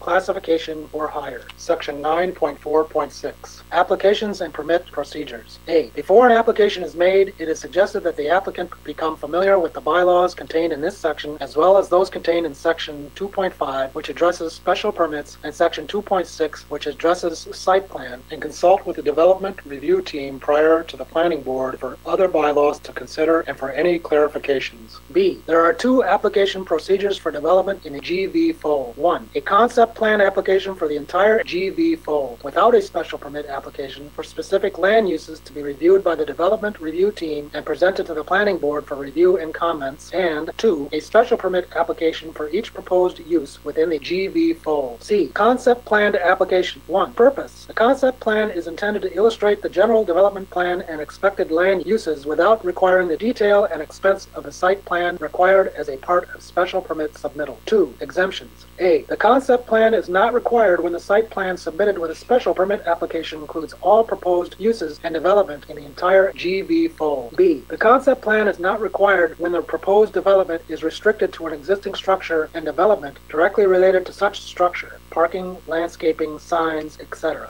3. Procedure. The following procedure shall apply when an applicant seeks approval only of a concept plan. A. Application. The applicant shall file with the board an application for concept plan approval on such form as provided by the board, and such application shall be governed by the requirement section 7.2. B. Elements of concept plan. The concept plan shall be prepared by an engineer, architect, or landscape architect, and shall include 1. Drawings at a scale of 1 inch equals 100 feet. 2. Existing topography with 2 foot contours to show the general gradient of the site, existing structures, existing roads, and rights of way, major topographic features including wooded and open areas, ledge or outcroppings, inland wetlands, watercourses, and floodplain. 3. The land uses and zoning within 300 feet of the site. 4. Boundary description of the district within it. 5. Names of all abutting property owners. 6. The location of all proposed roadways, parking areas, setbacks, easements, land use areas, open space areas, and access locations from connecting roads and driveways within the site to the existing public road system. 7. The site shall be divided into general land use areas identified as one or more of the specially permitted uses, e.g., retail, restaurant, office, research lab, etc. 8. Proposed building footprints and location of parking areas. 9. Letters from the Water Department and the Water Pollution Control Authority stating how service is to be provided to the proposed land uses. 10. A preliminary traffic analysis prepared by a professional engineer which shall include, but not be limited to the following. A. Land use site and study area boundaries. B. Existing and proposed site use. C. Existing and proposed roadways and intersections. D. Existing and proposed roadways and intersection capacities and volumes. E. Trip generation and design hour volumes. F. Trip distribution. G. Trip assignments. H. Existing and projected traffic volumes. I. Levels of service of all affected intersections for the design hour. J. Future traffic impact analysis. 1. Short-term horizon, one year after occupancy. 2. Long-term horizon, 20 years after occupancy. 11. A preliminary stormwater discharge plan prepared by a professional engineer, which shall include as a minimum the following. A. A map showing project location, description of the property, acreage, topography, identification of major drainage ways involved, proposed type of development, identification of wetlands based on soils map, and a reference to any flood hazard area delineation study applicable to the site. B. A map of the tributary drainage basin determining the location and magnitude of flows from upstream of the site based on current development or zoning, whichever provides the highest runoff volumes. C, a conceptual drainage plan showing how intercepted and on-site flows will be received and transported. D, designated points of discharge from the site, accompanied by a general analysis of how existing downstream facilities will handle this discharge. E, proposed rights-of-way required for drainage easements and detention areas. F, stormwater storage volume required. G, location of storage areas. 12. Narrative and illustrative elevations of design elements explaining how various design elements, landscaping, architecture, signage, street design, etc., contribute to a unified appearance that is harmonious both internally and with surrounding properties in terms of scale, materials, and color. 13. A table indicating the following. A. Areas of the site for each proposed land use. B. The amount of building floor area proposed for each land use. C. Number of parking and loading spaces for each land use. D. Wetland areas, floodplains areas, area of ledge or outcroppings. E. Overall lot coverage. F. And building heights. 14. Limits of phases where development is proposed in phase 15. Such other relevant information as the applicant may wish to submit or the board may request. 4. Required findings. In approving a concept plan, the board shall find A. The application and concept plan are complete. B. That the proposed location of the land use areas on the site avoids placement of incompatible uses adjacent to one another. C. That the transition between the different proposed uses is suitable and that adequate buffering is provided. D. That the proposed land uses and development patterns satisfy the purpose and intent of the regulation as set forth in section 1 and the standards and requirements of sections 5 through 6. 5. Changes to concept plan. Changes to an approved concept plan are required to be approved by the board. D. GVFOD Special Permit Application. 1. A special permit application in conformance with section 2.5, which includes submission of a site plan as outlined in section 2.6, is required for each proposed use. A special permit application is also subject to the following requirements. A. Concept plan. A concept plan must be submitted with the special permit applications for proposed use or uses if not previously submitted. The board shall act on the concept plan prior to acting on a special permit application. B. Traffic report. Report prepared by professional traffic engineer stating that traffic conditions at described in the approved concept plan traffic report have not changed, or if they have, in what way. C. A tabular statement of zoning conformance with respect to each land use type contained on the concept plan. D. In addition to the criteria for special permit approval, the requirements and findings of this section must be met. 2. Changes to special permit site plan. Changes to an approved special permit site plan are to be approved by the board. 3. Change in uses within existing structures is also permitted for situations where a use has already been approved in accordance with these bylaws upon review and approval by the planning board. When such use does not change the compatibility of such new use with those existing within the structure and the change in use does not result in expansion of space greater than 25% or 5,000 square feet, whichever is greater. A. The development review team will review and will forward any such request to the board for approval. B. The development review team may require such information as it deems appropriate to evaluate any such application, including those listed in subsection C of this section. C. The town planner shall make a report of any decisions made under this section to the board at the next regular meeting of the board following such decision. And that's it. Thank you. Thank you, Councilor Patrono. I mean, Councilor Marquetti. Sorry, Councilor Marquetti, thank you. Um, so those are the amendments to the Southbridge zoning bylaw introduced and added in section nine point four. Globe Village Flex Overlay Zone, second reading of February eighth, two thousand twenty-one. The third and final reading will be March, uh, February twenty-second, two thousand twenty-one. Um, again, for the public, may be found through the planning board, um, link under final draft Globe Village Flex Overlay District. Any comments by councilors? And now we'll move over to amendments to the Southbridge zoning bylaw, section four, use regulations, including table one, table of uses. First reading of, uh, Feb, that January twenty-fifth, two thousand twenty-one. This is the second reading. So Marquetti, you have this one as well? Uh, thank you, Mr. Chairman. On this one, I only read the changes. I think Counselor Steves has a question. Also, Steve's. Um, thank you, Mr. Chairman. I just wanted to point out that in our packets, we did not get the revised version that, that actually puts the table into plain English that we asked for. Remember, he, remember, um, Eric had raised the concern that if you'd say you could send it over in uh, Word, it would probably be clean, and we still have the, the old version that was all messed up. Okay. Eric, did you have that completed? I do. It um, it is available on the town website um, under the planning board link, and it is correct there. Uh, again, I'm I- I'm terribly sorry. I thought I had sent that over to you. I have the printout, Eric, from you. Thank you, Counselor. Yeah, I think I have the original text too somewhere, but I just wanted to point that out that the, the one that we got in our electronic packet is still the messed up one. Yeah, it is. Could you also make sure that you put that up on the ma- on the main page of the website so that people can find it, find it easily? They don't have to go digging through a whole bunch of back under underlying pages to find it. And the same way, I think the same should be true for all of the other bylaws as well. Thanks. Yeah, I posted though, so I agree, but, okay, do you, do you keep your, the first, uh, pages, Council Marquetti? I'm ready. Okay, go. Like I said, I only read the changes, all right? You didn't read the whole, the whole thing? Just the changes. Okay.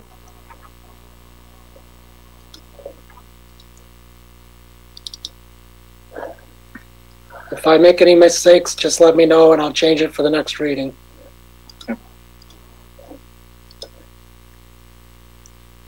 Southbridge zoning bylaws, section four, use regulations. Four point one, general provisions. A, no building or structure shall be erected and no building or structure or land or water area shall be used for any purpose or in any manner except as provided in this section four. B, no building permit shall be issued for any use that is subject to section two point six unless a site plan has been reviewed and approved by the planning board. C, an accessory use shall not alter the character of the premises on which it is located or have an adverse impact on the surrounding areas. Adding D, any new construction within the central core requires a special permit from the planning board. 4.4 Schedule of Uses. A. Table 1 Legend. 1. Y. Permitted by right, but may be subject to site plan review under section 2.6. 2. SP, allowed by special permit. Number 3 has been changed from N, prohibited, to Y slash SPR, allowed by site plan review. Number 4 has been added, which is N, prohibited. For the purpose of this reading, this is the legend of the zoning districts. R1, R2, and R3 are residential. CC is central core. RB is retail business. GB is general business. OR is office research. M is manufacturing. Southbridge zoning bylaws, Table 1, Schedule of Uses. Under residential uses, mixed use building. Zone R2 and R3 has been changed from N to SP. Under educational and institutional uses, religious uses, all zones have been changed from Y to Y slash SPR. Under government, public services, utilities, commercial ground mounted solar photovoltaic installation up to 700 kilowatts or on less than 5 acres. All zones have been changed from Y to Y slash SPR. Commercial ground mounted solar photovoltaic installation larger than 700 kilowatts or on 5 or more acres with or without battery storage. Zones R1 and OR have been changed from N to SP. Commercial battery storage was added. All zones are SP. Business use. Retail store. Not exceeding 5,000 square feet per retail establishment. Zones CC, RB, and GB have been changed from Y to Y slash SPR. Between 5,001 square feet and 20,000 square feet, zones RB and GB have been changed from Y to Y slash SPR. Retail sale of custom goods manufactured and sold exclusively on the premises, e.g., production and retail space for an artisan, craftsperson, or cabinet maker. Zones GB has been changed from SP to Y slash SPR. Sale of automobiles, boats, motorcycles, trailers, trucks, or farm implements. Monument sales, including showroom and outdoor display of merchandise for sale on the premises. Zones RB and GB have been changed from Y to Y slash SPR. Hospitality,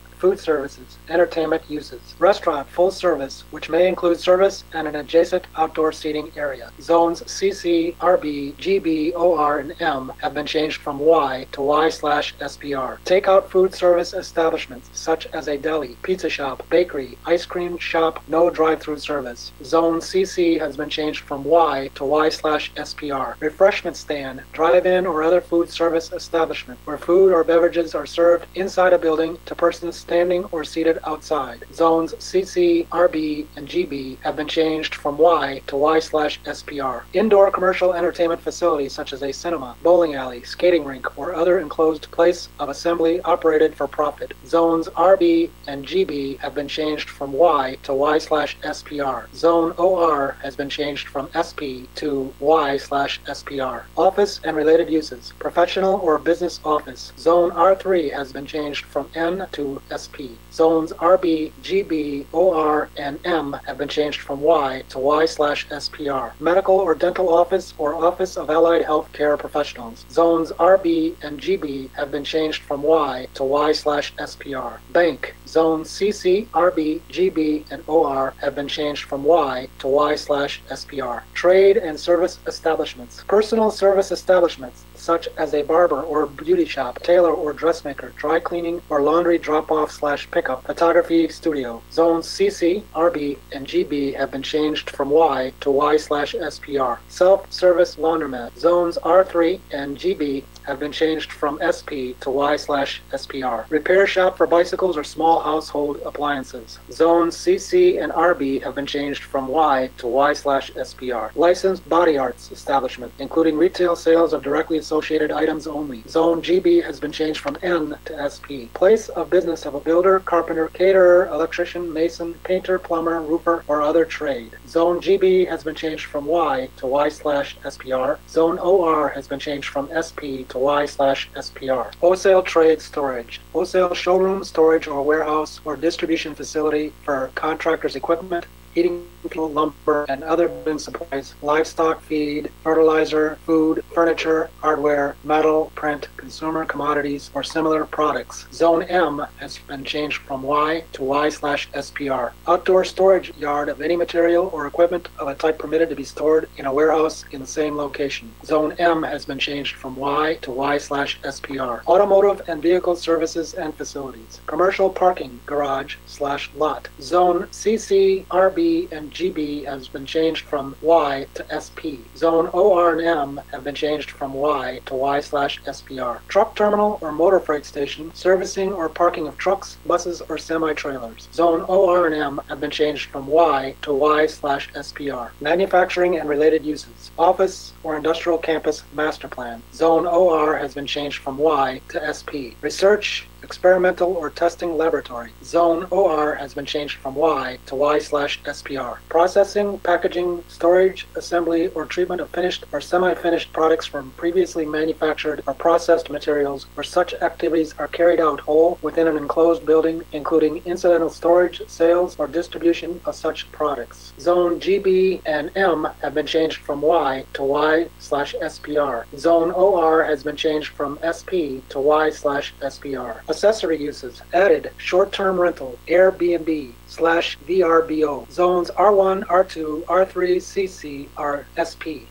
Zones RB, GB, OR, and M are N. Added boarding house. Zone R1 is N. Zone R2, R3, and CC are SP. Zone RB, GB, OR, and M are N. Outdoor storage of trucks, supplies, and equipment in good working order, incidental to permitted uses. If on a lot abutting a residential district, the outdoor storage shall be screened from view from adjacent properties with evergreen vegetation of sufficient density and height to achieve year-round effective screening. Vegetation shall be maintained in living condition. Privacy fence or solid wall may substitute for vegetation, subject to approval by the town planner. Zone GB has been changed from Y to SP. Zone OR and M have been changed from Y to YSPR. And that's that one, thank you.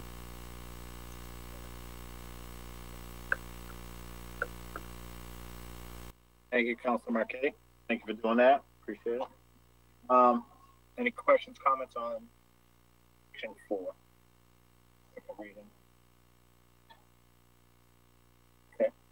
We'll cut to the third reading on two twenty-two.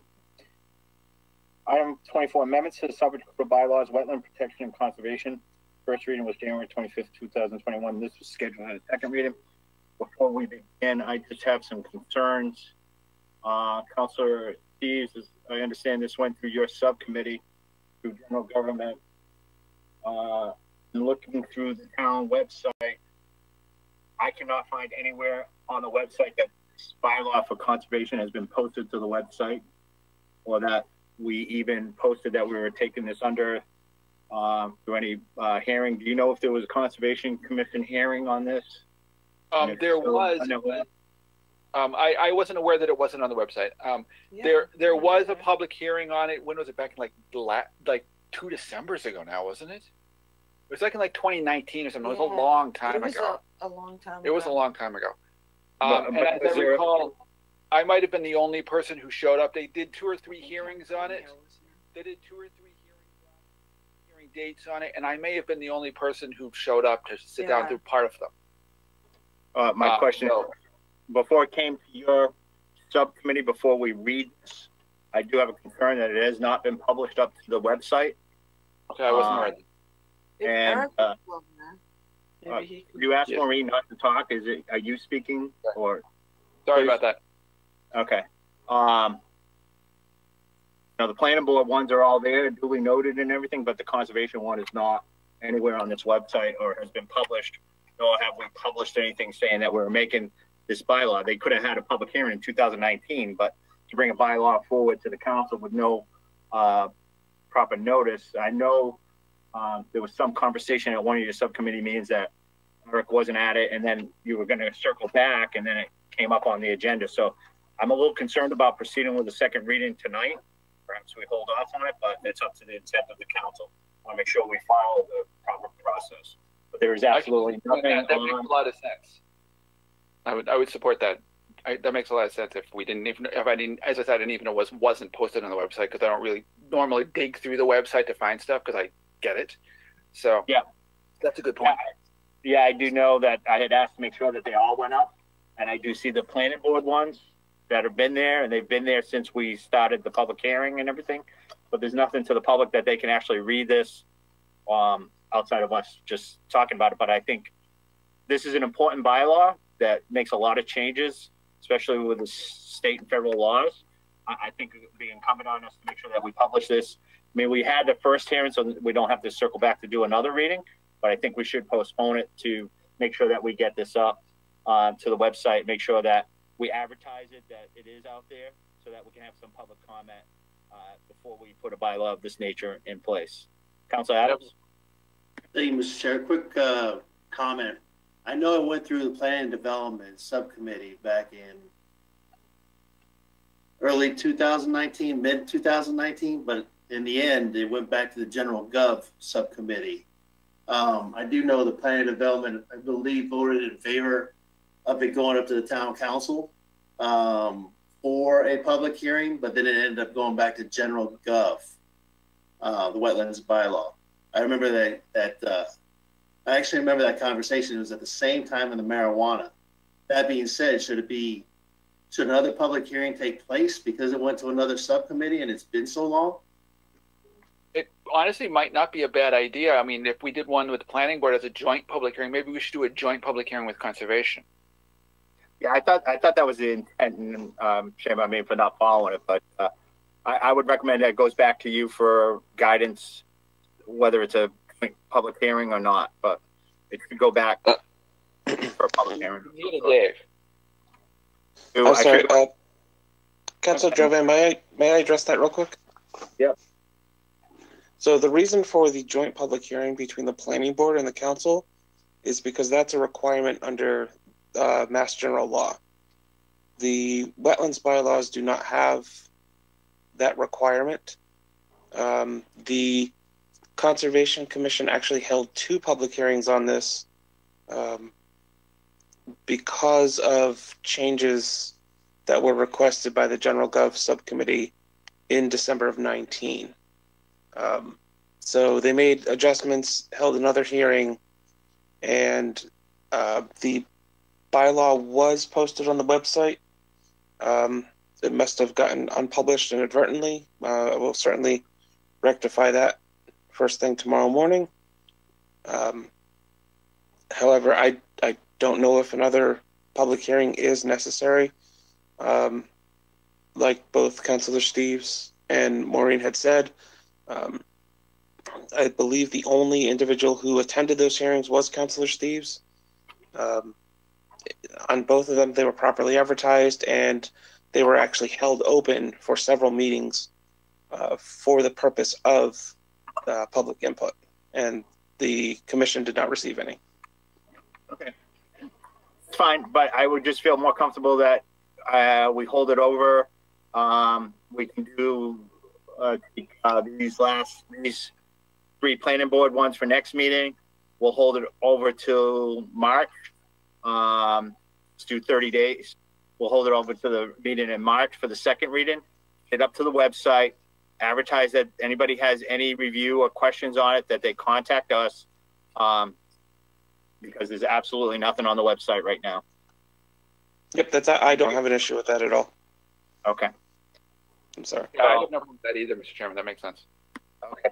I'll entertain a motion to postpone till uh, the first meeting in March. I'm not sure what date that is, but would that, is that an agreement? Whatever the first date in March is. Would that I don't be, have my uh. Would that be March 1st, Mr. Chairman, or is that March 8th? I, I'm not Those sure what Mondays. meeting. Uh, I don't have my calendar in front of me, but whatever will it'll be it'll be postponed to the first council meeting in March. Okay. Is there a motion on that? So moved. So moved. Second. A second roll call. Counselor Adams, Yes. Counselor Catrona, Yes. Counselor Daniel, Yes. Counselor Dow, Yes. Counselor Jovan, Yes. Counselor Lazo. I think he dropped off. Oh, okay. Counselor Yeah. Marquette, Yes. Okay. Counselor Ryan, Yes. and Counselor Steve. Yes. Okay, and the town manager has that that meeting is March eighth. So, and that'll be for the second reading because we we waived the first reading. It'll be for the second reading. Council Marquetti, you already have this taped. Okay, so make I sure you save it. Make sure you save it. Okay. Okay. All right. Okay. Moving on. Uh, Council's Forum, Council Catrona. Thank you, Mr. Chairman. Um, I'll be brief. Not meaning to be heated this evening, um, and we can all certainly agree to disagree, I hope. Um, I was trying not to be inconsistent with the charter. Um, I, I would certainly ask my fellow councilors to take a look at the charter 2-4-2. It's what I was referring to tonight. It simply says that the council may enact bylaws and other measures and rules and regulations not inconsistent with this charter, governing its own proceedings and other matters pertaining to the exercise of its powers and the performance of its duties. So it was my opinion that the motion to waive a provision of the charter was out of order. That was my opinion, uh, because 242 of the charter was very clear. So that was my intention this evening. Um, That's all I have. Thank you. Thank you. Council Marquetti? Uh, thank you, Mr. Chairman. Uh, I really don't have anything tonight. Uh, everything that I asked of the town manager this week, he got back to me. So I really appreciate you getting back to me in a timely manner. I asked about Mill Street. You got back to me on Mill Street. Um, you, I asked about the dog kennel. You got back to me on that. So I have nothing. Thank you. Okay, great. Um, Council Ryan? Nothing this evening, Mr. Chair. Thank you. Thank you. Council Steves? Um, thank you, Mr. Chairman. Um, just something quick. Um, when we were talking about item 14, this isn't really, this is more just a, a thought, something to throw out there so we start thinking about this. Um, when we were talking about item 14 on the agenda tonight, and all of the various other discussions we've had about funding various things from the fire station project to roads to schools to anything else that we also borrow money for, um, we seem to be keep getting tattooed with interest. And I've been, I was thinking that this might be the a good time to really start thinking about and putting some pressure on our legislator legislators in Boston and Washington, if possible, um, to start creating public banking because um, we it's because uh, that way we can put uh, we can save millions of dollars on interest costs for these kinds of really expensive necessary public projects that otherwise would be that is currently being vacuumed into the, into private hands whereas the public needs it for all kinds of things like roads and schools and all kinds of other things so i just wanted to throw that out there and uh, so i looked it up a little bit and there's been a couple of efforts to have the, an act called the established massachusetts infrastructure bank um, it has gone through a couple of legislative cycles now. It's currently basically dead in a subcommittee. Um, but if we can put start putting pressure on our state reps and state legislators and senators to uh, bring it up and actually make it happen, I think it'll benefit all of our communities, not just Southbridge, but all of us spend millions and millions of unnecessary dollars on interest doing trying to do the public's good. And that's all I really wanted to say tonight. Thanks. Thank you, Councilor. Councilor Dow? Thank you, Mr. Chair, for you. I, I just have, you know, I, I'm not sure what the rule is when you uh, take money from the, re, uh, you know, the, what do you call that, the reversed account, you know, like the, the reserve why account? the money doesn't go back to the account came out for something else in the future. You know, like why the money when it come back from FEMA is going somewhere else, not back to the same account in case we need to use, use it for something else you know, same, you know, emergency or something. Like why why that money doesn't go back to the same account? You know, I, am not sure if I can ask that question. What's the reason they're gonna go back to a different account? I know it's coming back to the town. I know it's coming back. It's not going nowhere, but I think it should go back to that specific account came out from. I, yeah, I'm no expert on municipal finance. Um, we can talk to Karen about it. I mean, we do have our certified free cash that was just certified, you know, you could talk to the town manager. We could, as a council, discuss it with the town manager. If that money's going back to free cash, potentially. No, I don't mean the free cash. I'm, I'm, I mean the reserve. No, no, no. No, I know. So what I'm saying is, uh, we do have free cash. We could transfer a certain amount of free cash from free cash back to our reserve if that money's going back. But we can have that conversation on another. It's all accounting principles and municipal accountant, but we can have that conversation at another date, I think, on an agenda Okay. item. Yep. Thank you. Uh, who do I have left? Council Adams? Uh, thank you, Mr. Chair.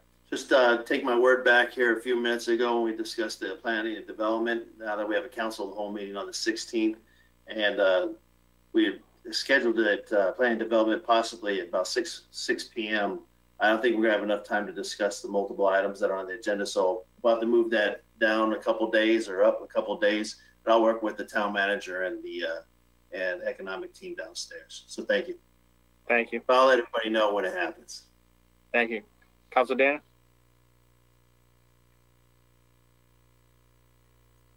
Thank you, Mr. Chair. Um, I have nothing for this evening. The next regularly scheduled meeting is Monday, February 22nd, 2021. Thank you. I'll entertain a motion to adjourn. So moved. Second. Roll call.